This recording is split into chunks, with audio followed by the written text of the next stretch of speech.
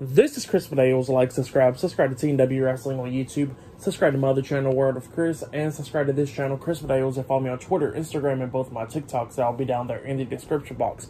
And I am here to do my AEW Collision June 17th, 2023 reviews. So here we go, talking about tonight's AEW Collision, which is the first ever episode of Collision. Now, let's just go ahead and just talk about the set and everything. Now, the set freaking looks amazing. I'm not even gonna lie, like the stage and the ramp and all that looks better than Dynamite and Rampage and all that stuff. Like, it, it really does. It, it, it looks way better. Not only that, the announce table for the announcers is not up there at the stage, is actually at ringside, like WWE pretty much.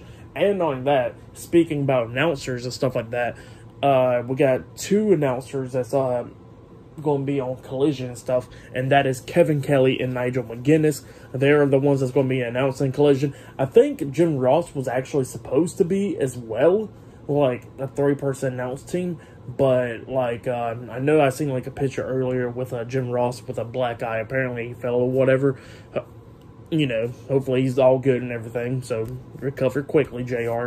But yeah, uh, I think he's supposed to be out there, but I don't know. Uh, that's what I was hearing about. But Kevin Kelly and Nigel McGuinness are on the announced team, and you know what? Freaking Kevin Kelly so underrated as an announcer. You know, he did gr- he did pretty good in WWE back in the day, but and his good work was in Ring of Honor at least. But yeah, he's a he's damn good. You know, underrated announcer. But yeah, and same for Nigel McGuinness. You know, but yeah.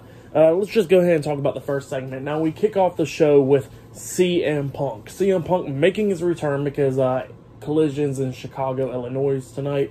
Uh, yeah, CM Punk returns. He comes out there with a freaking red bag and you know some shoes tied around his neck and all that stuff. And he comes out there and he says that he's been gone for ten months and everything because of a torn tricep and all that stuff. And he's happy to be back because he loves the fans and he knows the fans love him and all that stuff.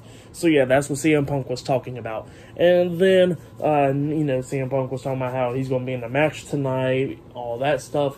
And then he was talking about how he needs to apologize and all that. And he apologized to the people that's actually soft, soft or uh, soft, just like their favorite wrestlers. So yeah, um, there you go, right there. But then uh, he was talking about what's in the red bag and all that stuff, and pretty much referring to the uh, AEW World Heavyweight Championship. Pretty much talking about how he never lost the title or whatever. Pretty much he's, uh, you know, he's a claiming champion pretty much the reclaiming champion uh, because obviously he never lost the title at all. He never got pinned or submitted. He just had to relinquish it. So yeah, he said up until he gets beaten, then you know they can have the title. But yeah, that's what CM Punk said. And then he was talking about uh, and how he had the best matches, like the best dog collar match and all that stuff. And then he was talking about uh, how everybody think that he's going to put these boots in the middle of the ring and, you know, call it night or whatever, you know. But he says he ain't going to do that because he's going to stay here and be competing and because he loves, you know, professional wrestling. So yeah, that's what he was saying. And yeah, just good stuff from CM Punk. Pretty good promo, but yeah, uh, he kicked off the show, and later on tonight, he'll be teaming up with FTR to take on Samoa Joe, Jay White, and Juice Robinson tonight in a six man tag team match.